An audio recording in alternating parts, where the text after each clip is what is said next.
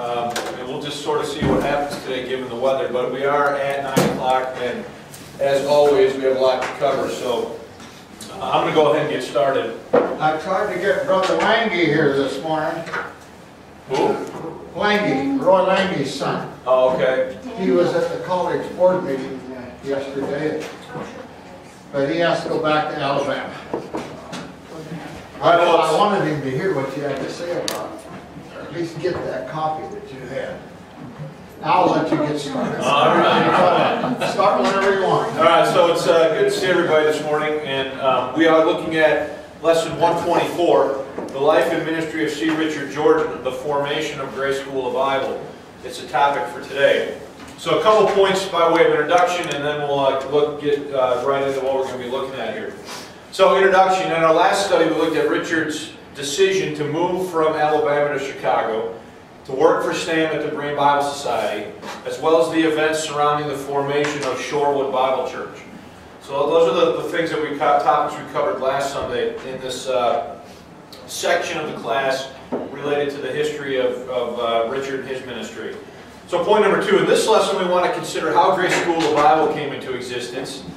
And in addition, we'll, be, we'll begin looking at how the grace alternative doctrines came to be understood.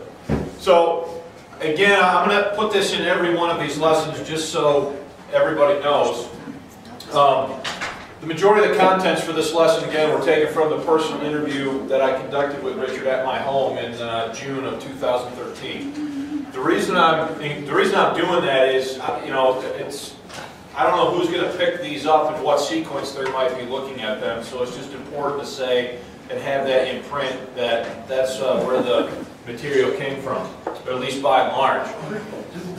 So the, the first topic this morning is, in this second segment, is the pastoral training class or Grace School of Bible. Okay, the pastoral training class or Grace School of Bible. So Richard had done some traveling prior to 1983, but began his traveling preaching ministry in earnest in that year. It was when Oscar Woodall, who prompted Jordan to begin a series of regional Bible conference, uh, regional conf Bible conference meetings around the country. These meetings were then promoted in the Berean Searchlight. So the idea here was that to establish some regional meetings, one in Florida, uh, California, uh, other parts of the country, uh, they, they established these weekend regional meetings in addition to the big summer conference, the Cedar Lake Conference that the Berean Bible Fellowship held every year in Indiana. So these, these meetings, Oscar Woodall, uh, Lee might know who that is, uh, probably a lot of you might not. He was a former businessman who was very good at uh, organizing. And he got with Richard and they organized these meetings and they promoted them in the searchlight and then people would show up for these weekend-long Bible conferences and so forth. So that's, that, that begins, these regional meetings begin roughly in the year 1983. Uh, I just want to add to that, it's at that point that he goes out and begins teaching his understanding of right division via the chart stuff that we talked about last Sunday in a, in a sort of wider scale. Um, remember last Sunday I gave you a little history of the chart, uh, the, the trifold chart, how that came to be and so on. So 1983, this is going on. Okay. Meanwhile, after attending Shorewood for a while in early 1983, Chuck Wiltshire and separately Ted Fellows around the same time approached Jordan about training them for the ministry. Uh, when Richard was telling me about this, basically Chuck and Ted came to him separately and said, whatever you did, we want you to do for us. So they wanted, they wanted him to sort of duplicate for them whatever the process it was that he went through uh, that they saw at work in him. So before Jordan would agree to do so, he had to get permission from Stam. Because remember, 83, he's still working with and for Stam. Stam agreed as long as they held the classes at the Bible Society. So the classes, Stam says, yes, you can do it, but you got to hold at least some of these meetings at the, uh, the offices at the Bible Society there uh, in Chicago. So Jordan agreed to meet with Wiltshire and Fellows at the Spring Bible Conference in Genoa City, Wisconsin to further discuss the matter. Um, which, by the way, that church in Genoa City, that's where my dad is currently the pastor, for those of you that might not know that. Um, so they were having a spring meeting there, one of these weekend meetings, and he said, look, I'll meet you there. You guys think about it. I'll think about it. We'll discuss it further at the meeting in Genoa City. By the start of the conference in Genoa City in the spring of 1983, the group of men interested in being trained had increased. Given all the time it would take away from his family, Jordan required a firm on their oath, three-year commitment that they would see it through to the end.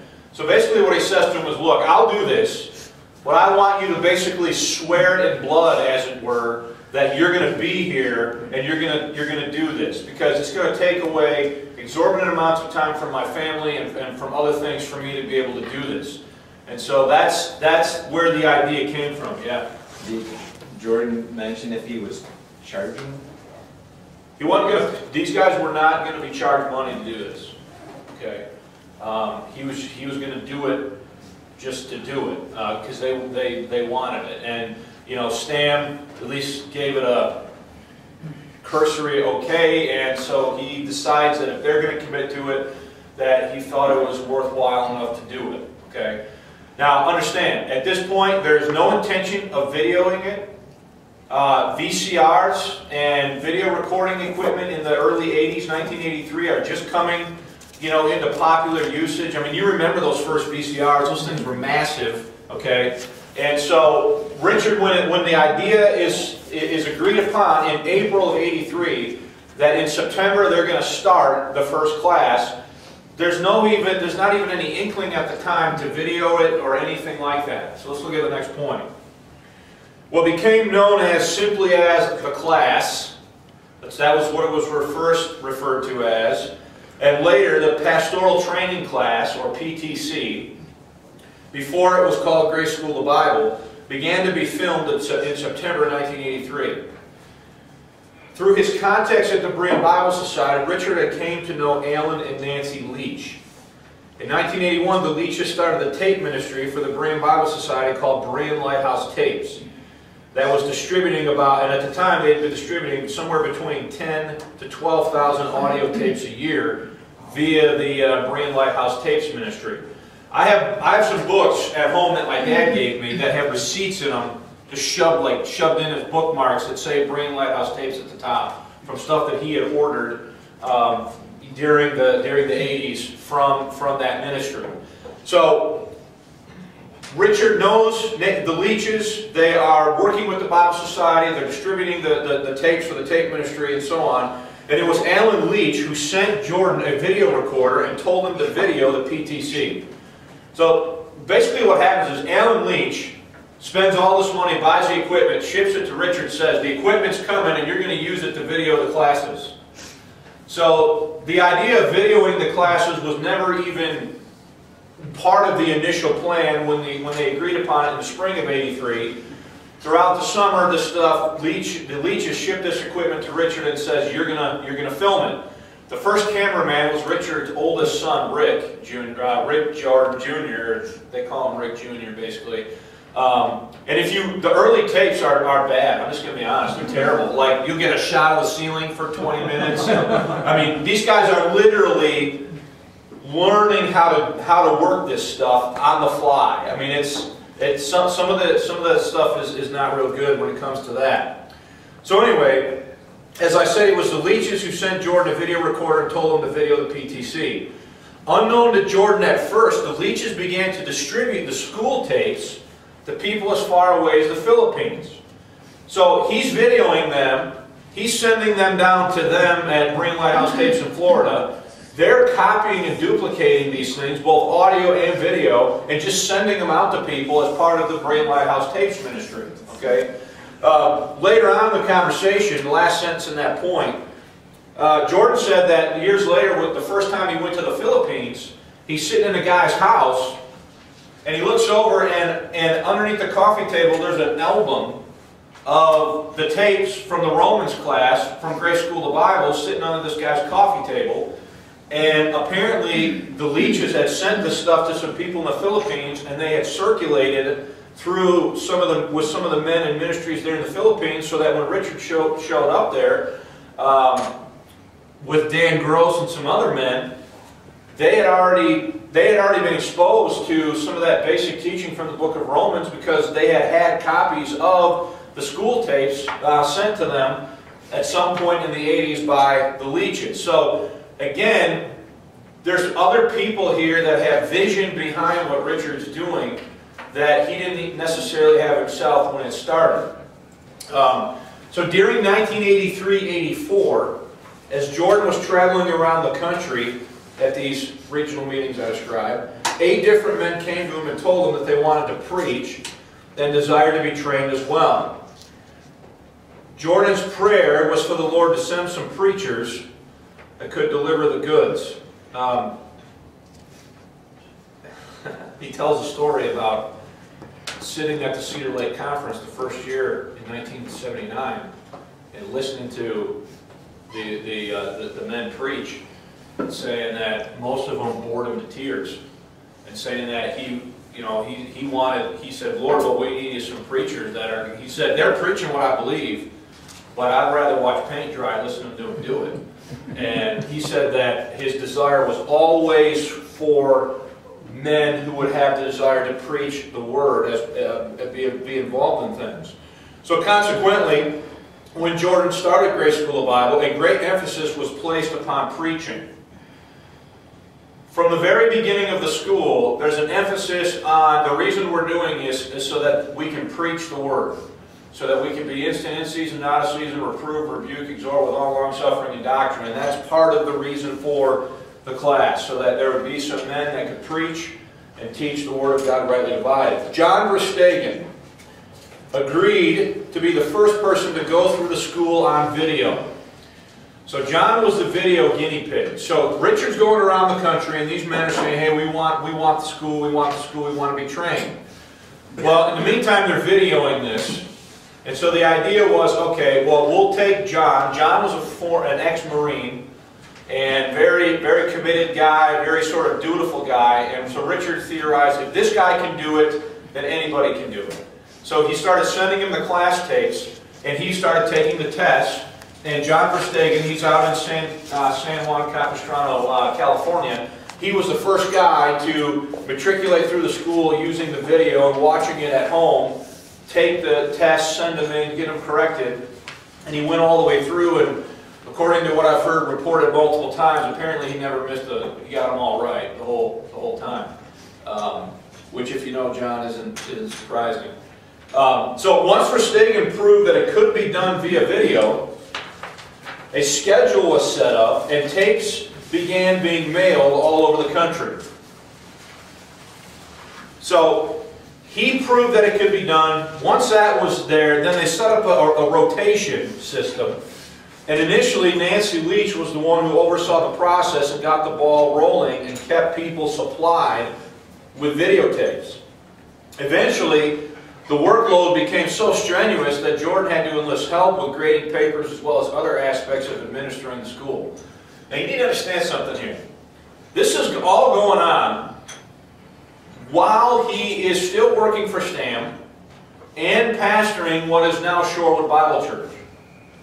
So he has his work for Stam, the pastorship of the church, him training these guys in, in, in the ministry, traveling around to these regional meetings and trying to coordinate all this stuff at the same time. Plus, you know, having a wife and, and kids at home.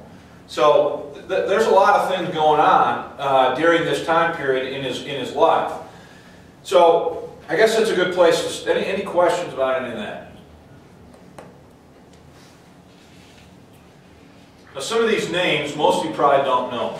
Um, Ted Fellows, John Verstegen, some of you may have heard those men preach on audio or video or watched them at the conferences on the internet or something like that. But the, the, these guys are still, uh, you know, associated with Richard's ministry and, and come every summer to, um, you know, preach at the summer Bible conference. Yeah, Mike? Well, where, did- where, where did these men come from, like Dan Gross and Ted Fellows and this, this is Wisconsin. Gross is from Wisconsin. Um, Uh, Fellows was from Wisconsin. He grew up in the church in Genoa City, and Floyd Baker Sr. But were, were they part of the Grace Gospel Fellowship? They, some, some of them, like, for example, um, uh, Ted Fellows grew up in, in, in Genoa City, which was historically a BBF church. So they had conferences there with, uh, kinda in the GGF, but not really? I would say they're coming from a, a, the more are coming from, say, BBF, Berea Bible Society circle than are coming from the GGF, Grace Bible College circle. Which makes sense. Which makes sense, given the fact that Richard is Stam's right-hand man at the time at the Berean Bible Society and is a main speaker at the BBF conference every summer. But they, but they also accept unique doctrines that Richard taught that are not necessarily accepted in the general, in the BBF and even the Grace Gospel Fellowship. And I guess that's what I'm getting at is these men seem to be It- What, what you're referring to is what we're gonna get to. what, what you're gonna get to, right? That stuff is gonna be forged out of these men studying together in the school. So when this starts, in other words, when this starts in eighty-three, Richard still held some more traditional views about a couple things, okay? And we'll, we'll get to that, those points here in a minute, because they are in this set of notes that I, I wanna go through. So when, when John wrote that book, My Journey to Grace, um, he, he was not, did not probably understand a lot of that at that. John at this time. Verstegen came out of a Roman Catholic background. Okay. He got saved. He was going to, I believe he may have been going to a GGF type church in California. And for some, through some circumstances, uh, he hears Richard and begins to correspond or have conversation with Richard about different things. And over time, they, you know, develop a relationship and eventually John says, hey, I want to take the school. Um, hearing some things about John's testimony, John originally you know, did not agree with Richard about the King James Bible and about a few other things. And, you know, over time and through study, he eventually, you know, comes to, you know, agree with him about some of those, some of those points. Um, Ted, Ted grew up in a Grace church. He grew up in a BBF church in Genoa City. Um, the rest of the guys, some of them are completely newbies.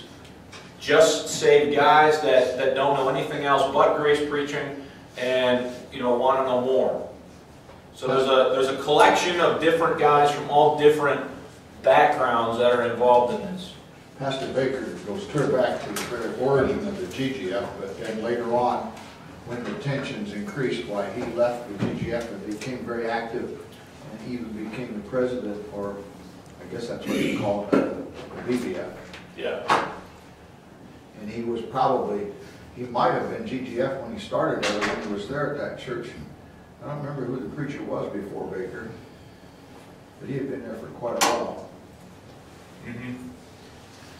So yeah, Mike, it's a good question. There's, there, there's a lot of, there- there's not a singular background that these men are coming from. Um,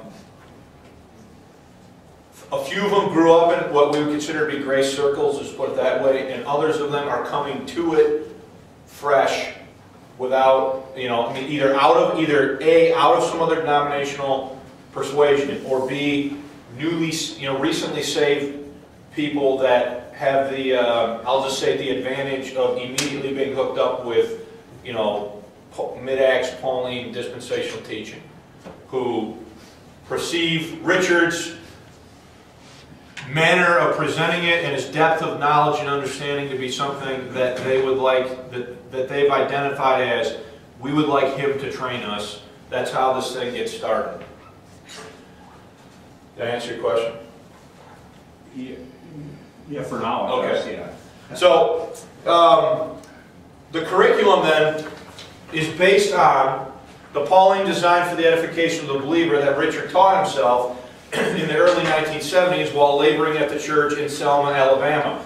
What I drew on the board two weeks ago about Romans 8, 8 or sorry, Romans 16, 25 and 26, uh, my gospel, the preaching of Christ according to the revelation of the mystery, and the scriptures of the prophets, and then the order, the, the canonical order, the Pauline epistles, creating a structure for edification. The school is based on that. The school is not patterned after the standard systematic theology approach that most mainline Bible colleges and institutes follow. So it's an entirely different model and training mechanism than what you would get if you went to say, you know, Grace Bible College, Berean Bible Institute, or any other uh, sort of um, any other denominational Bible college or institute. Those, and those of you that have been there, you'll know that, or in a situation like that, that they follow what is the systematic approach. And you probably would have to buy systematic theology books. I know a few of you, Fred, you said that when you were at uh, Grand Rapids Baptist, you had to buy Chafer. And the, the approach is more systematic. Richard's approach and the way he structured the school is not, it's purposefully not following that systematic approach, but following this, what he calls the Pauline edification approach. Okay? So offering offering, quote, Bible edification by extension, the PTC is now known as Grace School of Bible. So, what, so when they originally started, it was just the class. Then it became known as the pastoral training class. Then after Richard uh, separated from Stam, it became what it is now, known as what it is now, Grace School of the Bible. Um, so the published course catalog of Grace School of the Bible states the school's purpose as follows. Okay? So here, this isn't the interview now, this is me quoting from the, the, the literature. Our main interest is in training men to teach and preach the word rightly divided, with special focus on preaching of Jesus Christ according to the revelation of the mystery. To this end, to this end, emphasis is laid on three basic areas. Number one, an intensive study of the English Bible designed to provide a thorough knowledge of the Word of God according to the dispensational methods set forth in 2 Timothy 2.15, thus giving an understanding of what God is doing in this age and preparing the student for useful and effective service for the Lord. Number two, preaching. Rather, preaching rather than on executive and promotional branches and issues of the work. Classroom study plus practical tutelage and on-the-job training in getting the message out to others are combined to balance the student's growth. So there's the emphasis on the preaching aspect, okay? And third, the Reformation text of the King James Bible, rather than on the critical theories that have been used to destroy the authority of that text. The King James Bible is presented as God's Word for English-speaking people, and this position will be clearly taught and analyzed both critically and historically. So, students enrolling in Grace School of Bible will complete the following course of study in, order to be awarded a diploma. Please note that Grace School of Bible is not, a, not an accredited institution of higher learning and does not desire to be. Receiving a diploma from Grace School of Bible would be the equivalent of graduating from an unaccredited Bible Institute program. All right? Now, I, have duplicated here for you the exact course of study.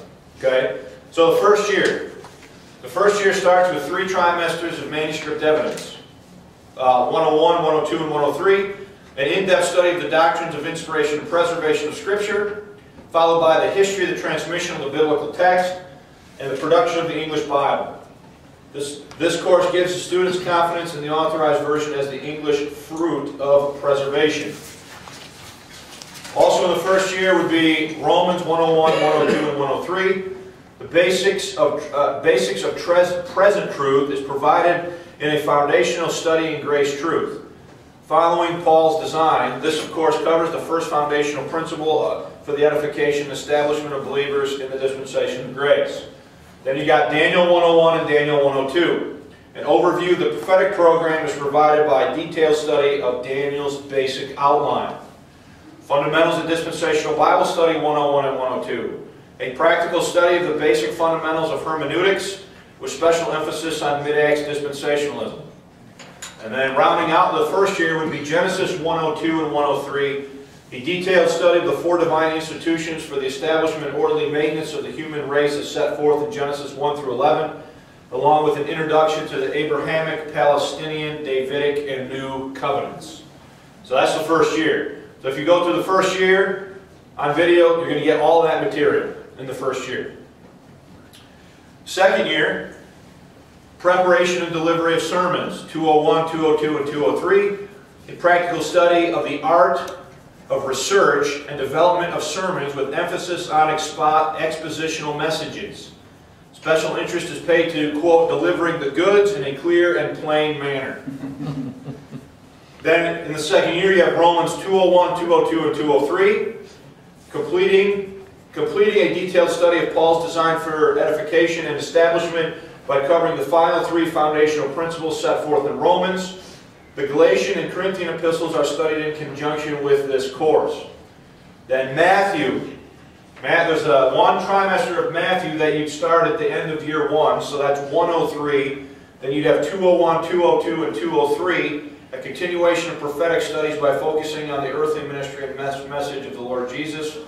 And finally, Old Testament survey, 201 and 202. A survey of the message and flow of each Old Testament book, designed especially to focus on the history of the nation of Israel.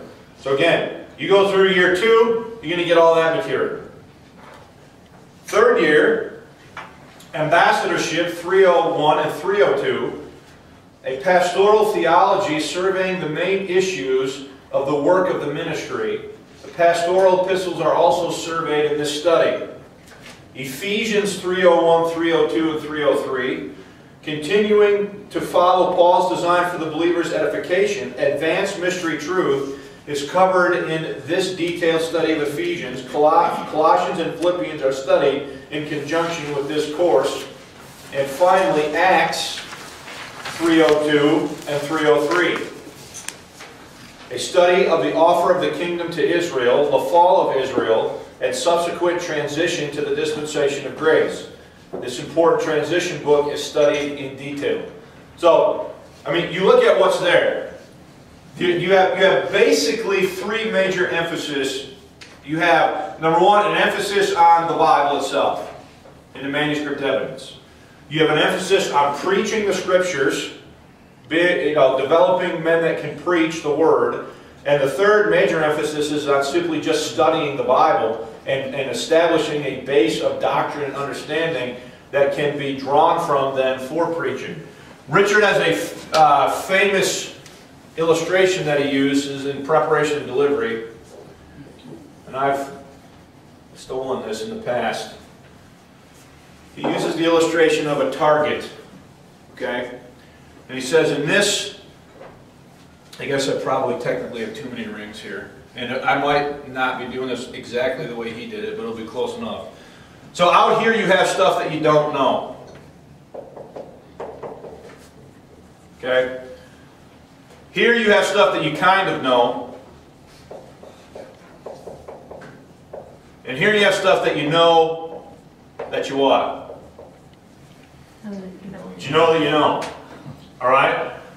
So what he says is the more things that you can move from this ring into this ring, and then from this ring into the center ring, what you're doing is you're building a reservoir tank of knowledge that you can then draw from to use when you preach.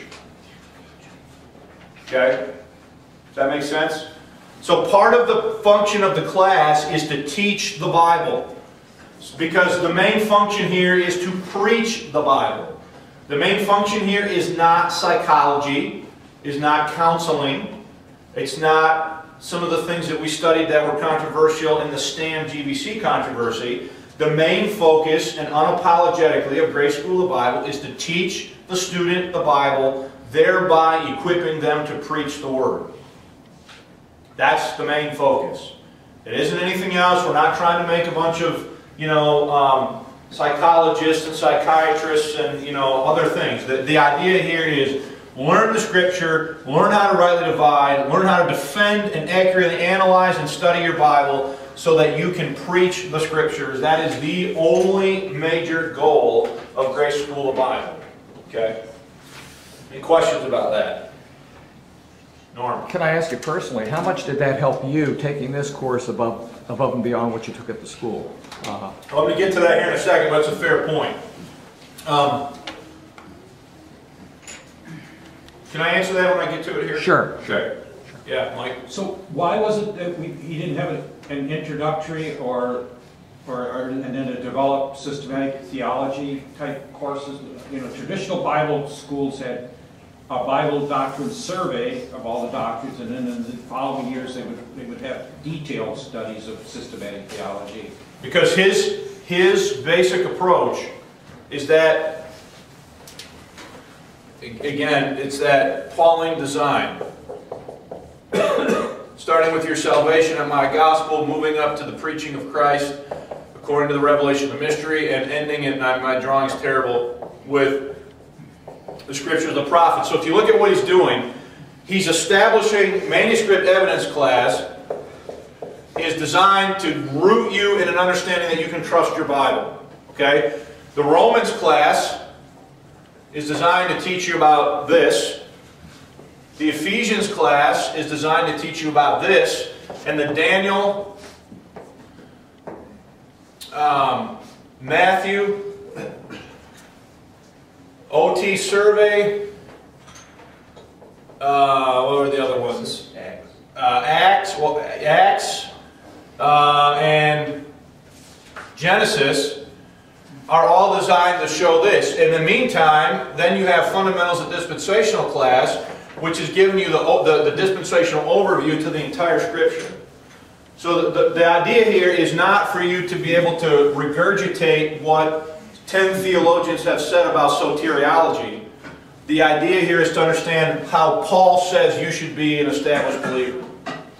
That's, that's unapologetically the uniqueness of how the school is structured. So that the student will leave not, necess not necessarily knowing what 15 different theologians said about eschatology, but with an understanding of what does the scripture say about these things from the rightly divided mid-acts framework. So that his main focus is not for them to know the theologians, it is for them to know the Bible. Not, not Mike, though, saying that he does not cover some of that stuff as he goes through in this Sure, manner. come up naturally. He's, he's just not structuring it that way. So I don't know if that does that answer That's question. very helpful. We were always given four different views on everything, and then you were left to pick your own view. Mm-hmm. And being young and immature, we would get into big debates about it and come away with nothing, you know? Yeah. So to get to your question, Norm, let's uh, work through this next point here a little bit. So it's important to note that those taking Grace School of Bible today are seeing the same video that was shot when the classes were originally taught by Jordan in the mid-80s when it was first known as the PTC. So if, if you get these videos now, you're going to see goofy hair, terrible suits, major pocket protectors with 15 pens in the pocket, and all sort of the dorkiness of the 1980s. Okay? Uh, it's, it's there, it's the same as it was when it was originally filmed in the 1980s, and Richard would admit that. He also has, at the time, some sort of a terrible allergy. And there are multiple times, if you watch the classes, where he just has fits of sneezing uh, that go on sometimes for five minutes. Um, so you sort of get all the rawness that they had when they were filming it. And remember, all this is new to them at the time, so they're sort of learning on the fly. The school was not called Grace School of the Bible until after Jordan resigned his position at the Berean Bible Society in 1987 and struck out on his own. I, Brian Ross, first began taking Grace School of Bible courses in the fall of 1997 while a student at Grace Bible College. I watched the entire first year of the school on the video equipment in the media room located in the basement of the Bultema Library on the campus of Grace Bible College. So it was definitely an interesting situation. I was, I was having sent to the school the Richard's tapes. I am enrolled full-time as a student in Grace School of Bible while I am watching Richard's tapes on the video equipment in the Bultema Library. So I was sort of, to answer, to get to your question, Norm, it was sort of a, a very first-hand comparison of different grace perspectives. I was living in one, and while I was living in that one, I was receiving another one via video. And so I was sitting in the, in the courses of the college, I was, I was sitting in the basement watching these, and looking at, you know, in, in sort of a very in-your-face sort of life way, what are the differences of perspective between the GGF and, and, and what Richard had to say. So I want to look at the next sentence. This was a deliberate decision on my part so that I could gain a multiplicity of perspectives on the grace message. Look, just speaking personally, I grew up in the grace message. My dad um, went to Richard's School and graduated in 1987. He became pastor of the church in Genoa City in about 19, sometime late 1990. And so, you know, I grew up through my teen years with an understanding that, you know, you, that, that you had Richard, you had Stam and the Bible Society, you had Grace Bible College and the GGF, and that they all sort of believed similar things, but that they didn't always get along and didn't have the same perspectives on things. And so, one of the things I was kind of tired of was, was listening to the things that people were saying back and forth, and realized that a lot, in many cases, they were just repeating things that they had heard, and there was a lot of things being said for which people really had no firsthand knowledge. And so, I, again, speaking personally, I made the decision to get more than one perspective, so that if it ever came to it and I had to speak about these things, I could speak on them from the point of view of experience. No, having seen that perspective and this perspective, and being able to, you know, weigh the options in my own mind more fairly than I perceived other people had been doing, that, that I knew, okay? Um, yeah. Can I ask why your dad sent you to Grace Bible College in the first place, or? My dad didn't really want me to go. Oh, okay. I mean, he, he wasn't gonna stop me from going, but he, he didn't really, he didn't really want me to What was your goal to be a te, a teacher? No, that's a good, that's a good question. My first goal was to go there to be, to study to, in their Bachelor of Theology program. Oh, And when I finished the first year, so that would have been, that would have been uh, the school year of 96. I graduated from high school in 1996. So that would have been the 96, 97 school year. Okay? Um, in the summer of 97, which is when I turned 20, I went to, so I, I sat in GBC classes for an entire school year. In the summer of 1997, I went with my dad to the Grace School of Bible Conference. That year it was in, um, at Trinity International Divinity School in Deerfield, Illinois. That's where Richard was, was having his conference that year. He rented the facility and, and sat there all week and, and heard the preaching. And just knew right away that what I was getting at the college was not what I was being exposed to sitting here and listening to the preaching. And so I, I, before I left the conference in the summer of 97, I filled out the forms, paid the registration fee, and signed up to take the school. And I started receiving the school tapes shortly after school started in September 97. But to go back, the original plan was to study for the ministry at Grace Bible College. But the summer of 97, this time in here, I decided I'm, not going to do that. So then I went back in September 97, and the second plan was to study for uh, business administration. I did that for a while and decided, no, that's not going to work very good with the ministry. So then I switched again and decided that, that I wanted to, that I, what I needed to do was be a teacher. Because I knew that if I were a teacher, I would have weekends off, two weeks at Christmas, spring break, and an entire summer off. And it would afford me more opportunities to do ministry related things.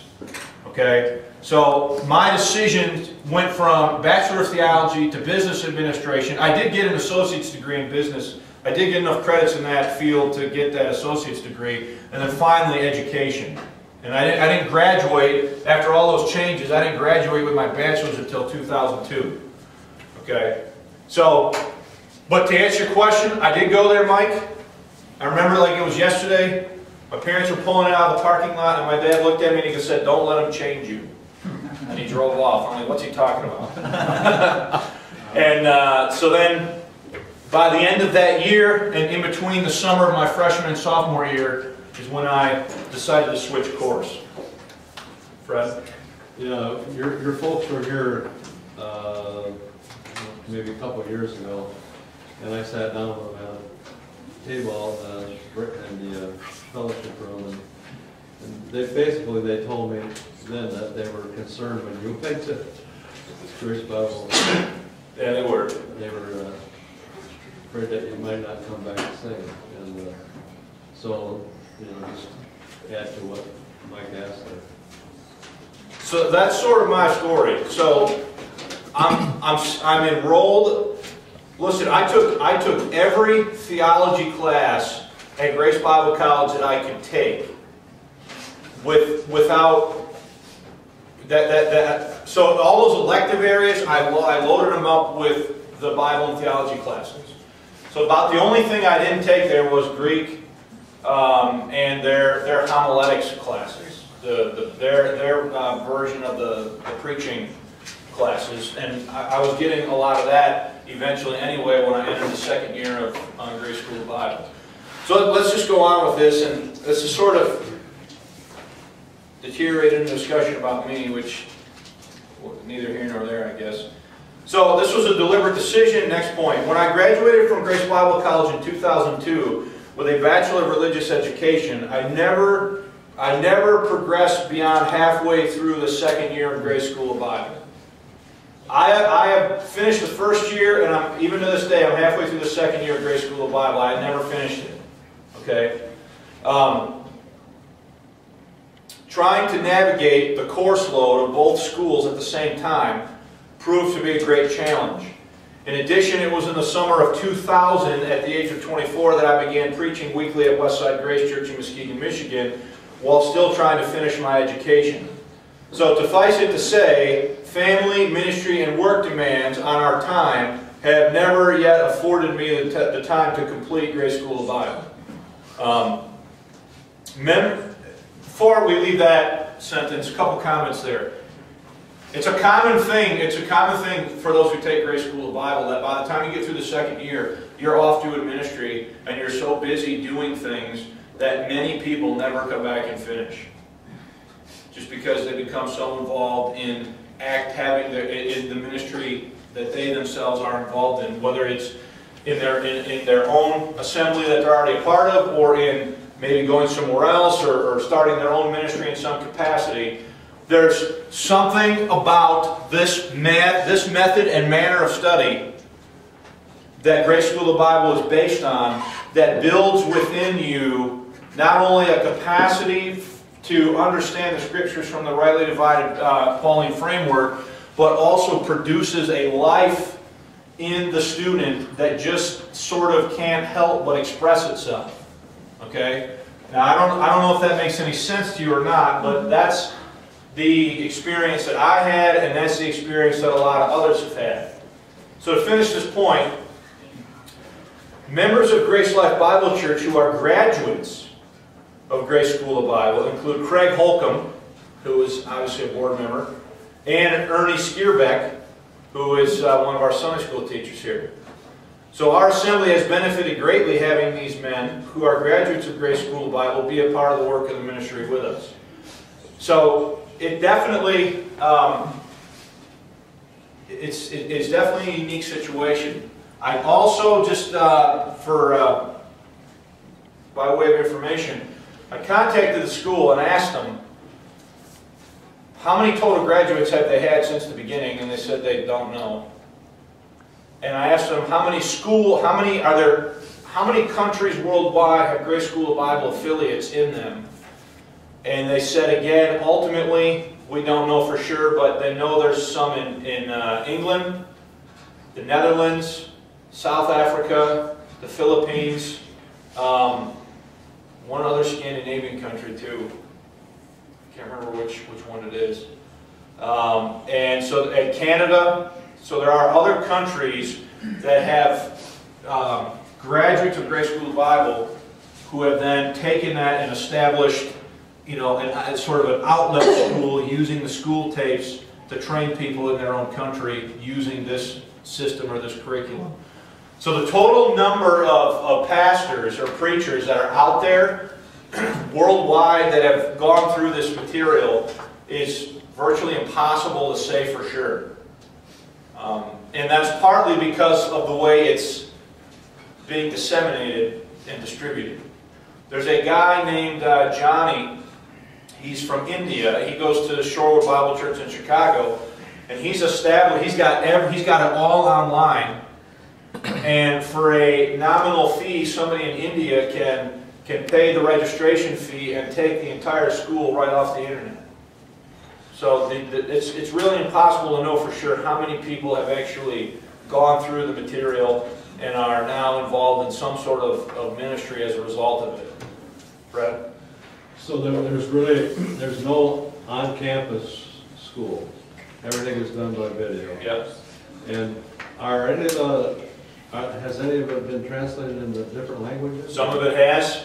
There's a, uh, the, the fun, the FOD, Foundations of Dispensationalism, um, has been translated into Spanish at least. Um, I know that. And portions of other, of some of the other classes have also been, um, put in other languages. I don't know how many.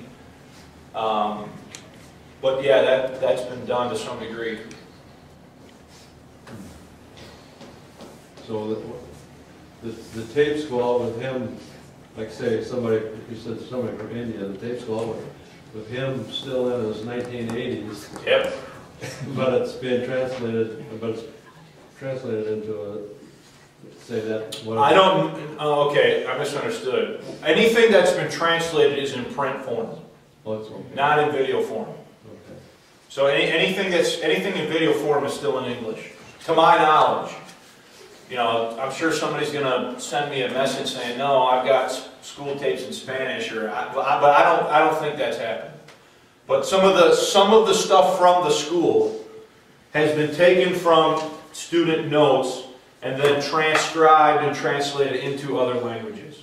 So I have at home a booklet called Foundations of Dispensationalism, which is basically a student who took the class, took voluminous, copious notes of everything that was taught, and then basically put them into a booklet form. So if- I, if I, maybe I'll bring that in next Sunday. If I were to grab that, it's just basically, oh, just a, basically a, a written transcript of the class that you could read. That and a few other things have been put in other forms. That right division chart is in at least four or five languages. It's in Spanish, it's in Dutch. Um, I think beyond that, I, I'm not totally sure, but I know it's in at least four or five different languages. Yeah, Are you familiar with Les Feldick's ministry? yeah, I know, I, I, I don't know. I, I'm familiar with the ministry, I don't know him personally. I just wondered how much difference there is in the, their approach. There's- There's, there's some difference, um, in, in- in detail of belief, for sure. Um, But, look, I I would argue that in the last 30 years, more people have come into contact with Mid-Acts Pauline dispensationalism via the ministries of Les Feldick and Richard Jordan than any of the institutional centers of the grace movement combined Amen, right. okay? Um, Whatever their, whatever, whatever Jordan and Feldick's disagreements are, more people have been exposed to, you know, dispensational Bible study from a Pauline viewpoint through those men's ministries than, you know, than anything that's going on in the academic centers. Any other questions about this? Because we're kind of in an awkward spot where we don't really have time to start the next point. Um, But we still have some time to uh, possibly, yes, Mike? Can I ask, just, uh, in your interview with, with uh, Richard, did he mention anything about being influenced by Robert Thieme at all from Berachah Church in Houston, Texas? I've noticed some of his terminology, and I know some other grace pastors use some of his unique terminologies like uh, edification, Pauline design for edification. Thieme used to teach the edification complex of the soul. He had come up with real complex, sophisticated um, names for everything. And I noticed a lot of these grace pastors pick up on some of that. And he, al- he had a a worldwide tape ministry that a lot of people listened to in the 70s particularly. He really, He mentioned, he mentioned the name R.B. Thieme, okay. but uh, to what specific reference he made, he did not, he wasn't real clear on. He would not agree with his doctrine, but Right. his methodology, he probably. He, he, he does know, Influential.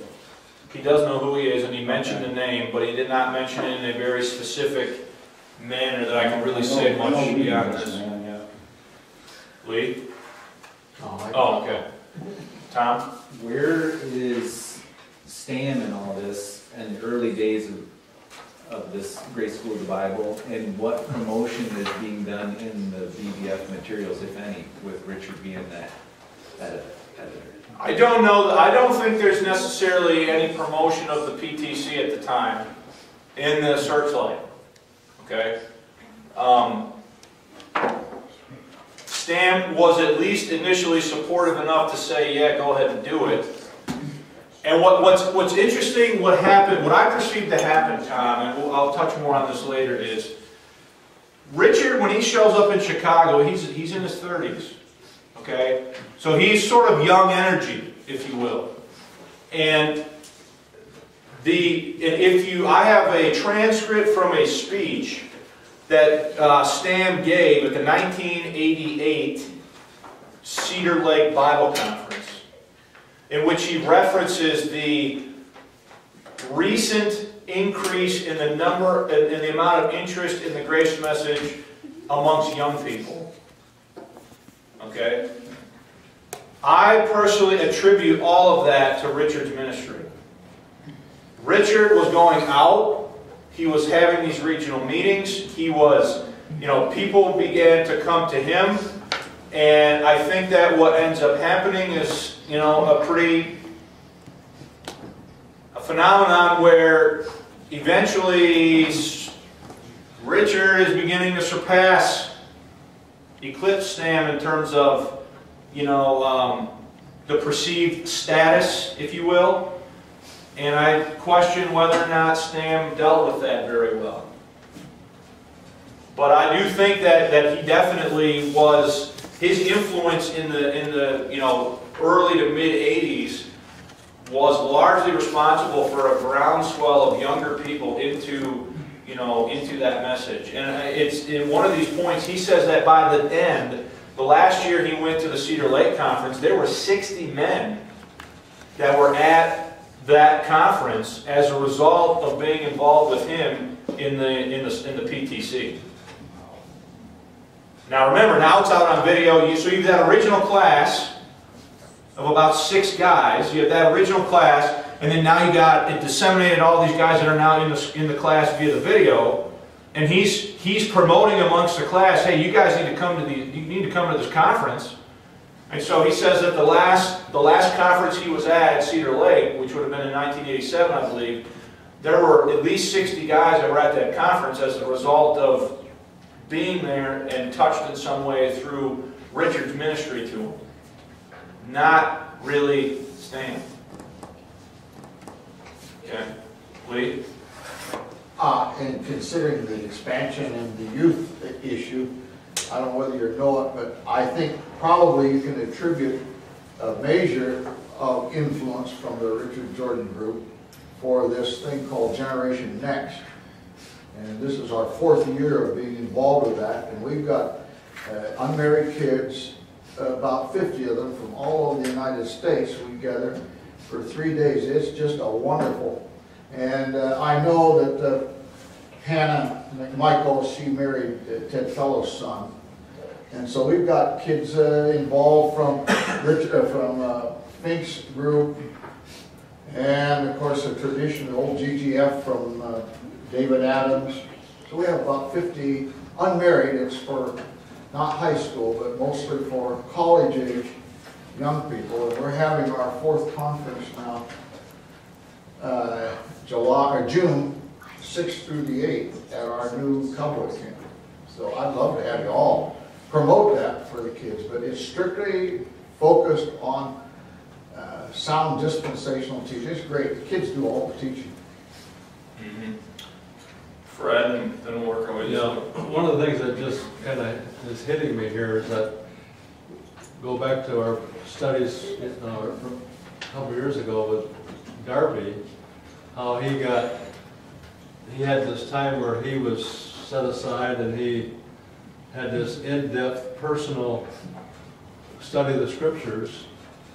And uh, I think that's where Les Feldick came from, his own personal, you know, in-depth studies of the scriptures. And Richard, uh, when he was a young person, first saved, he had that unquenchable desire to, you know, to get into the scriptures. And so all their training came directly from their personal study of the scriptures, not from, like you said before, not from uh, other theologians and so forth like that.